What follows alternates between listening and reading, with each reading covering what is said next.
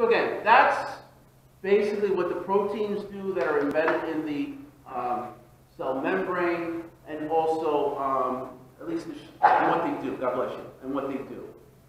Questions so far? There's more again about the anatomy. Now we're going to talk more about how things can get into the cell and how things can go out of the cell. What does it mean by semi-permeable? How does that actually do it? You don't want everything to come in and you don't want everything to go out. You want to have some kind of control. Okay? So we have movement through this plasma membrane. And I kind of break it up two ways. We could either have means of no mediated, mediated assistance. It's just, it'll allow you to go through. It's just a natural kind of thing, a normal gradient. Okay? And we have simple diffusion, osmosis, and filtration. But then we have other things that need some kind of mediated assistance, some kind of power to do, open up these doors to allow things to come in. So we're going to talk about these two different ones. So think of it as two groups here. All right? And this is an overview, and we'll discuss all of them as we go along.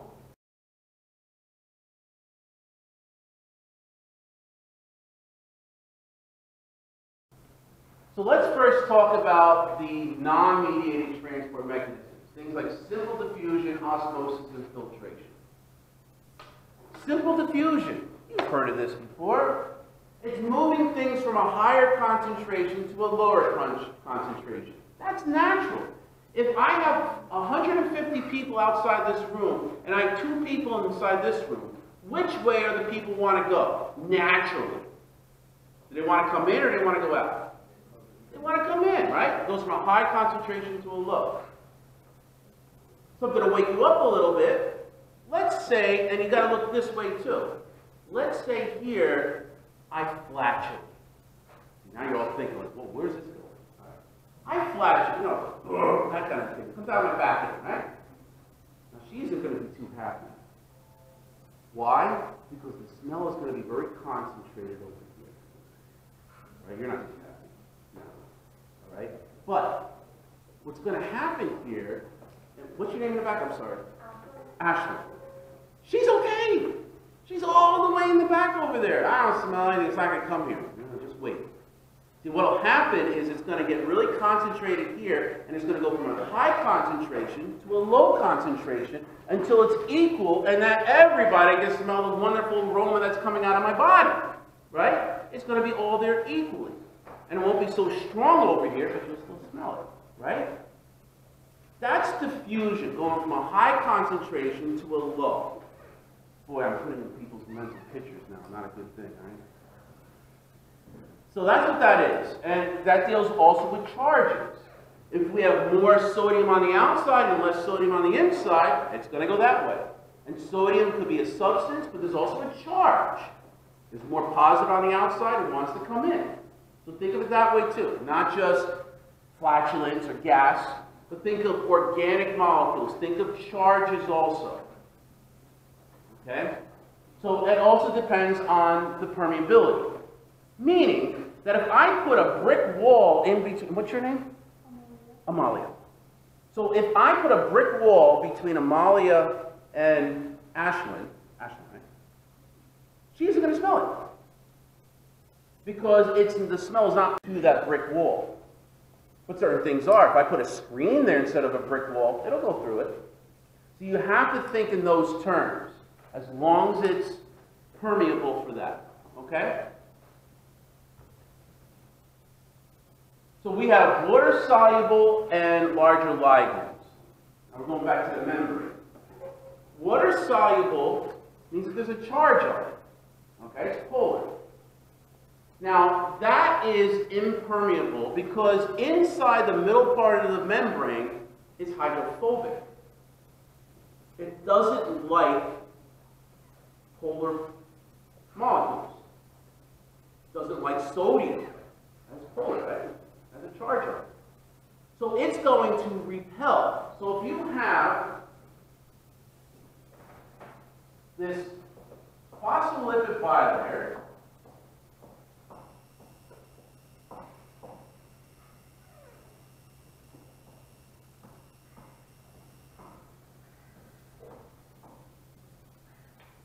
And this is the intracellular fluid, and this is the extracellular fluid. Right? If we have some kind of, let's say, sodium molecule, that cannot get through this membrane. It's going to ricochet right off. Okay? Because there's a part in there that doesn't like charges. Is that clear? All right? Also, if we have a relatively large molecule, even if it's hydrophobic and it's huge, that too is not going to be able to get through it. This is just too big. So they're going to have to find another way to get inside the cell. We won't talk about that for a moment, but we can have a membrane, I'm sorry, a protein that's in there.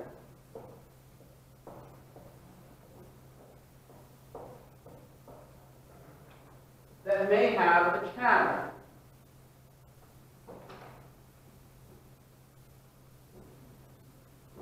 Now, this can go through here. I'm from Jersey, and New York City is right over the Hudson River.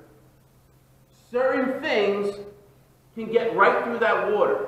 Boats, submarines. That's the hydrophobic stuff. They can get right through there. Certain things can't. Motorcycles and cars, they have to go through a tunnel. All right? So, so things can get through there, but it depends on if it's water soluble, they can't get through the membrane. They have to go through a channel. And sometimes the channel will be gated. If it's hydrophobic, or a small molecule, so hydrophobic or a water insoluble, they can pass right through these things. No problem. And they can go the other way too. No problem. Is that clear about that? Because inside doesn't like water, so if that doesn't like water, that substance doesn't like water either. It'll go right through there. And those are more like our lipids and steroids, right? Our fats. Whereas over here, this is going to be more like your proteins and ions. They can't get through there. They have to go through some sort of channel. Is that clear? So if you have a lot of sodium out here and very little over here, as long as you've got a channel that allows it to go through, it's going to go from a high concentration to a low. Is that clear?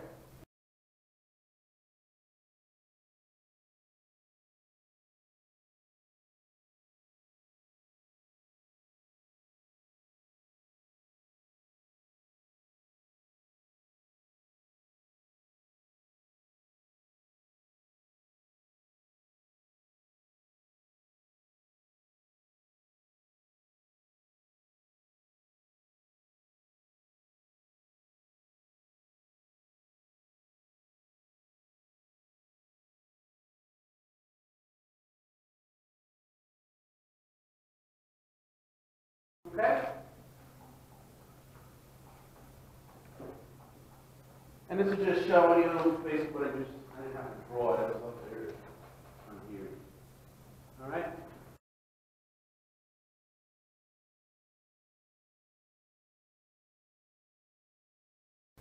It can either just pass through here, or it might have to go through a tunnel or channel. Same thing as the pill, right? You got the pill that goes in, in the water over here, it's going to dissolve. That's very concentrated there. When that goes in, gradually it gets dissolved until the whole area over here, when you take this section of the solution or this section of the solution, it's still going to have an equal amount of solutes to water.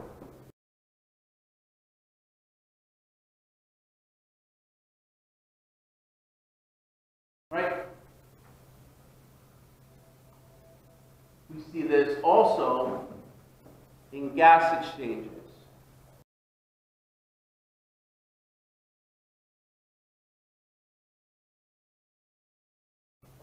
When you breathe in oxygen, You bring it, breathe it in. You're bringing a whole bolus of oxygen to your lungs. Well, the veins that carry blood to your lungs are very low in oxygen. So it's simple diffusion. It's going to go from a high concentration of oxygen in the lungs to a lower concentration that's in the veins. And that's how it gets on board. Likewise, carbon dioxide does the same thing. It's going to be very high in carbon dioxide in the veins, low compared to what you breathe in. There's carbon dioxide in the air, but compared to what's in the veins, it's going to go from carbon dioxide from your veins going into the lungs, and you blow that out. Simple diffusion. That's it. Now, let's talk about osmosis. Okay? Osmosis is diffusion. It's diffusion of a certain type of molecule. And that's it. And you know what it is by the word, right? Water molecules. So we're just specifically talking about in osmosis diffusion of a high concentration of water molecules to a low concentration of water molecules. That's it. It's diffusion, but for water molecules. Now, we do have in our cell wall something called aquaporins. You see, water is a very interesting thing.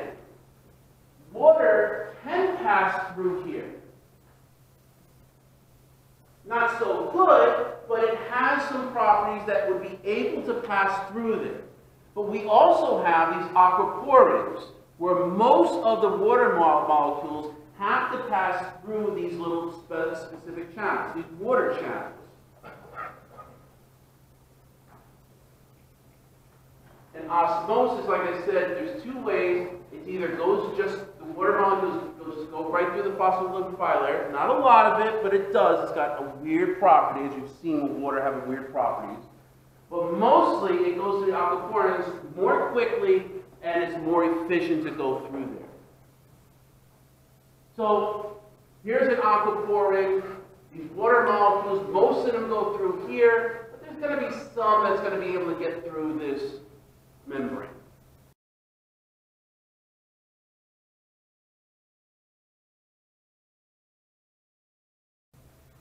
Okay? You'll hear about aquaporins later on. And they're always open. These gates are always open. More water out there than is in here and vice versa, right? Or whichever. All right, so we talked about this before, definitions, right? Solute, solvent, solution. So quick review, make lemonade, right? You got water, you got lemonade crystals, you take the lemonade crystals, you put it in the water, you got yourself a solution. All right? Water is the solvent, the crystals is the solute, you make the solution. Simple as that. All right? Now, we got to talk about hypotonic solutions and hypertonic solutions. And you'll be learning about this in the lab tomorrow. So a hypo solution is that there's more molecules of water outside the cell. Okay? Hypotonic solution. And what this is going to do is that it's going to draw in water from the outside to the inside. And I'll show you a picture so you understand what this is. We also have a hypertonic solution where the cell is put into a solution that has a lot more solutes than there is for water. And in this case, the cell, cell's water wants to escape from the cell to try and dilute the solution itself. And then we have isotonic solutions, all that iso, isotopes, isomers, isotonic, right? But iso, I mean, that's where you got to put things together. This is a pretty obvious one, but when you take more and more classes in science, you start putting things together. Jesus, isotopes, isomers, and isotonic. Iso, iso, iso must mean something. What do those three things have in common? The word same, right? So that's what this is. Iso means same. So what an isotonic solution is, is that there's the same concentration inside that it is outside of the cell. And in this case, there's no fluid that's going to go on either way. Okay? In a cell with its environment, we have two solutions, inside the cell and outside the cell. Okay? And it's separated by a semi-permeable membrane, allowing certain things to come in and out. My little mnemonic here is that water follows solute. Water will go where there's a higher concentration of solute. Understand it though. So what I have over here, put your pencils down. I want to make sure everyone's on the same situation here, on the same page. Just put your pencils, fine. Everything's up here. And I'll, it's being recorded too. But I want everyone to be on the same page here so you understand what's going on. And it's also about the lab too. Forget about what's going on over here. Let's look at this situation here.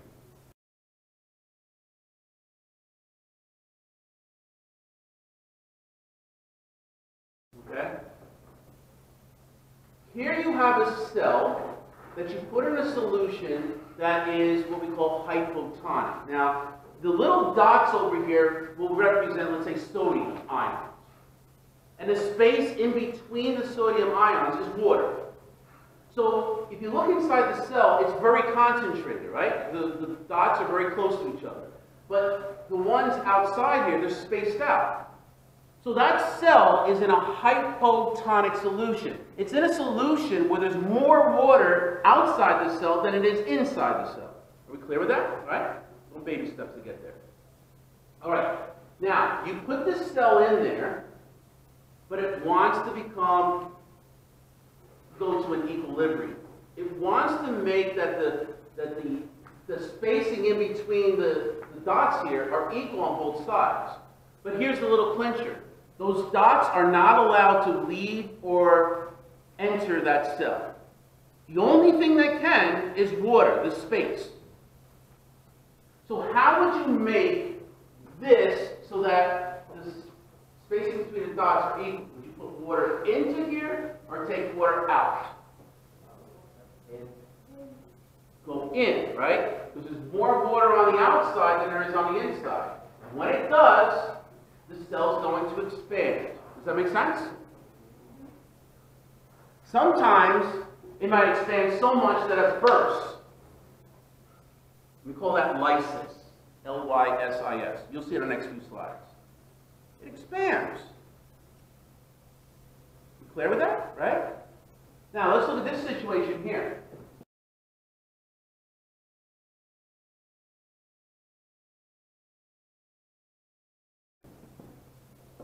You put a cell in what we call a hypertonic solution. You're putting a cell into something where the dots are very, very close with each other. It's a high concentration compared to what's on the inside. But again, those dots, those sodium ions, are not allowed to enter or leave the cell. But the water is. The white space around it is. So how would you want to, which way do we expect the water to go? Inside the cell or outside the cell to make the spacing equal on both sides? Outside. outside. So then what happens to the cell itself? It shrivels up. We call that crenation. It crenates. Okay? Now certain bacteria, this is, let me just explain something too certain bacterias have a, verb, have a cell wall to it. And that cell wall, as I explained to the plants, they don't lose a lot of water. They won't burst. Our cells will. Red blood cells will do that. They will burst. But plant cells, they tend not to. Certain bacteria tend not to. But if you put salt on certain bacteria, they'll shrivel up. And this is the basis of how, why you want to salt meats. You've heard of that, right? You put salt on the meats to make sure the bacteria doesn't go on there.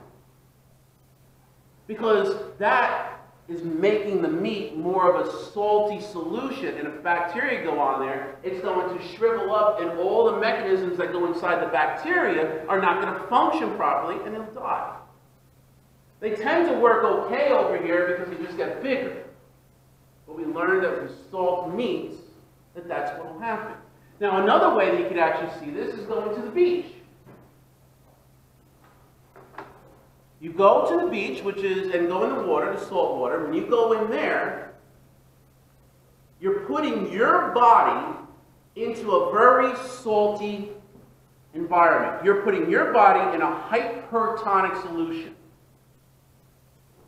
And what's the first thing you see within 10 minutes? What happens to your fingers? Yeah, you got those wrinkles pretty fast.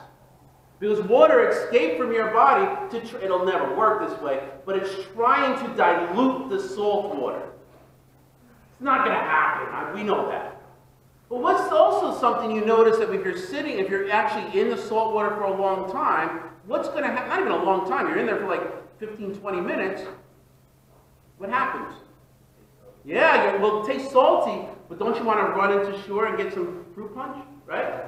You see, your, your thirst mechanism kicks in because all this water is leaving your body. You eat a lot of salty pretzels, again, you want to drink with that, right? Salt does that. But you have mechanisms in your body to try and get more fluids into your body, thirst mechanisms, and a bunch of other hormones and things which I want to get into. All right? So does that make sense for this? And then the last one is pretty easy. If you put a cell into an environment that is equal amount, then the cell is not going to change size at all. It's not going to crenate. It's not going to lyse or get bigger or blow up or get bigger.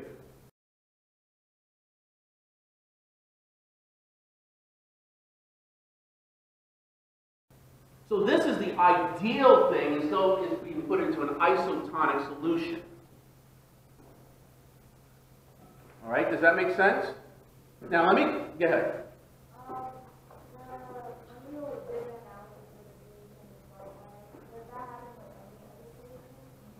If you put yourself in some kind of salty solution, yeah. If you put yourself in a hypertonic solution. I'm just using salt water because I think everybody can relate to it. But if you want to put yourself in calcium chloride solution, go right ahead. It's the same thing. You'll probably burn yourself a little bit with the potassium on it, but it'll work the same way. Yeah. Because your body's trying to dilute that, which will never happen. Now, let me also talk about this too, because I think this is important. I, I got everyone here, and I want you to see how you're applying this stuff. If your red blood cell,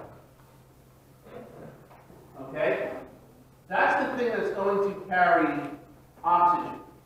If your red blood cell inside is 0.9% sodium chloride, so let me just go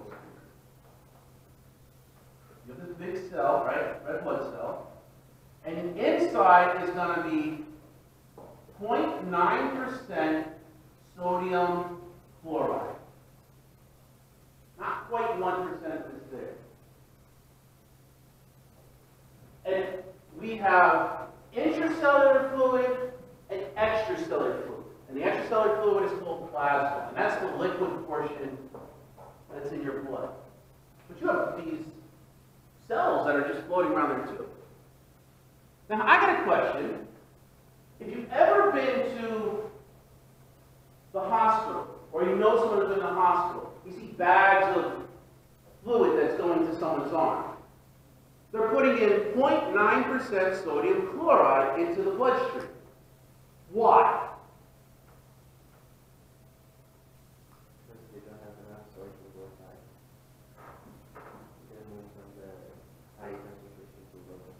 Right. What's going to happen is, if you're going to put fluid out here that's going to be 9% sodium chloride, does fluid want to go into the cell or fluid want to go out of the cell?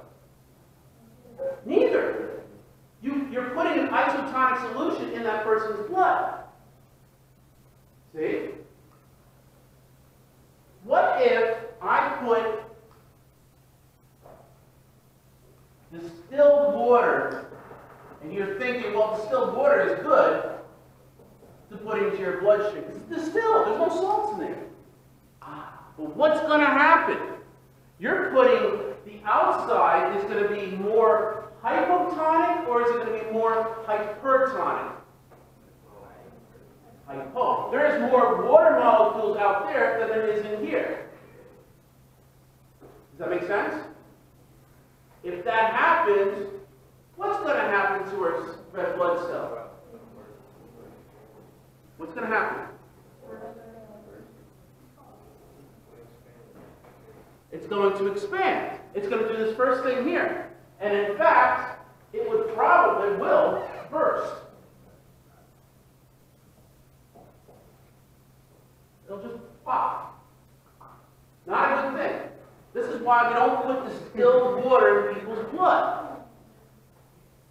Does that make sense? I'm trying to give you this into real life situations. I saw all your surveys, and right now it looks like there's about a third of the class that want to be an MD. This is the kind of stuff you gotta put together. Just, just knowing what this is and memorizing it is not going to get you anywhere. You got to know how to apply this stuff. Want to be an MD? Want to work? I, most of these are going to. It seems like most of these are going to go into the health field or engineering. You're helping people. You better make sure you know darn right you know what, what you're doing and why. All right? It makes sense though. And vice versa, if I'm going to give, let's say, um, in this case, I'll give, let's say, 20% sodium chloride. What do you think is going to happen? What's going to happen to red blood cell? 20% compared to 0.9%. Is it in a hypertonic solution or a hypotonic solution? Hyper. Think of you in the ocean. What's going to happen to this red blood cell? Shrivel. Not good either. So that's why we put 0.9% sodium chloride. In fact, if you have contact lenses, saline is 0.9% for that same reason. You don't want your eye to swell or, or shrivel, right? Works the same way. All right? Questions about that? Yeah? Yeah. Wait, so if you put this distilled water, right? How is it, um, it happens on? Because I thought if you have more molecules. Not more, more water molecules. It'll look like this. This is hypotonic. You're putting more water in here, which means that the, this, any sodium or chloride that's out in outside the cell is going to get further apart because you're putting more water in there. All right, here. Let's go back to our lemonade. Okay? We got crystals and we got water. Okay? If I put more water in there, not crystals, more water in there, is it going to be bland or it's going to be really concentrated? Putting more. If I put more water, not crystals, not those, you know, lemonade crystals, you're just putting more water in there. So is that, is your lemonade going to be diluted or is it going to be concentrated? When you taste it, you're going to be like, or is it going to be like, man, I got more flavor in there. Bland, right. So what you're doing is you're putting more water, which means that the solution is going to be more hypotonic. There's more water molecules in your solution. Is that clear? Okay. Does everyone make sense? Hint, hint. There's going to be a question or two on the exam. I mean, I, even have, I might even have questions in the lab also, because it's the same concept, right? Questions on it? I want you to be able to apply this material. Okay. We clear with that then? All right, and this is just showing the same thing, except for per- permeable membrane. It's the same thing as osmosis.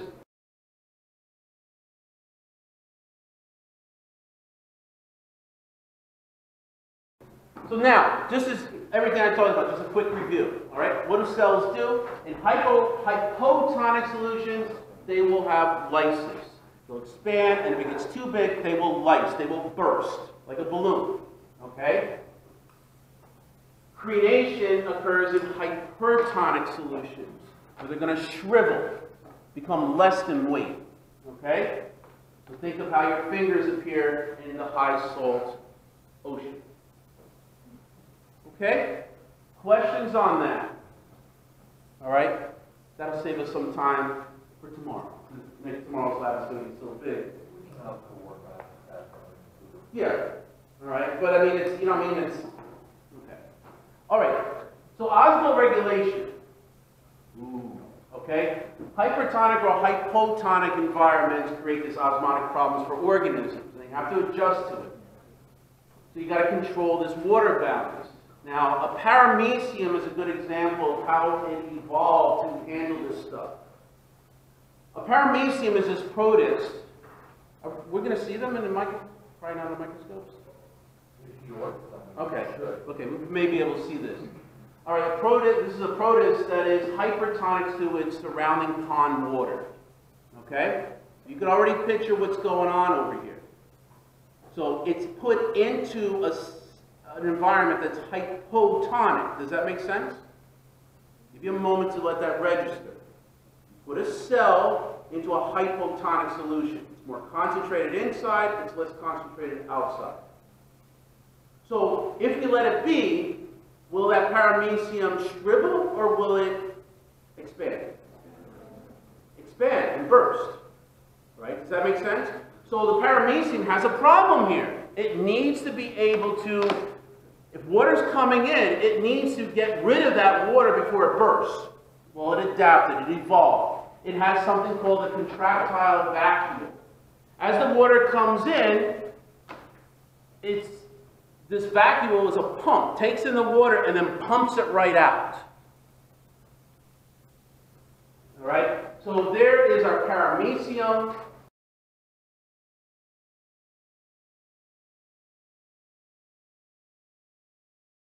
This filling of the vacuole gets filled up, and it comes to a point, I don't know how it actually works, but it comes to a point where it's going to shoot it all out, and the vacuole becomes small. All right? So different animals have found different ways of doing things. And you could imagine why you can't put a certain freshwater fish, like a trout, and put it in the ocean. It hasn't adapted to seawater, right? And vice versa. Cell walls of plants, we have a hypotonic environment. Plant cell swells until the wall opposes uptake. All right? So this is good. I mean, it's not going to burst, but that's what the cell wall is going to do. It's going to create this turgid, this firmness, so that it actually goes up. If you have less water, the, the flower or the stem wilts, right? So you need some kind of turgor in there, turgid, uh, to give firmness. In an isotonic uh, environment, the plant becomes flaccid, all right, and it starts really wilting. It's got to have some sort of uh, situation where there's going to be a hypotonic solution, otherwise it will start doing that. Okay? And in a hypertonic solution, don't give the friggin' plant salt water. Okay? It's just not going to work. All right? The plant cell loses water because it's trying to put your finger or put your body in the ocean water. It's going to make the water leave your body, or in this case, leave the plant cell to try and dilute that area there. That will mean that the, the cell is going to die. Okay? Does that make sense? Yeah? All right, so this is just animal versus plant, and you can do this to see what's going on. We turn, um, you know, hypotonic uh, and hypertonic solutions. And it's just a summary of that all.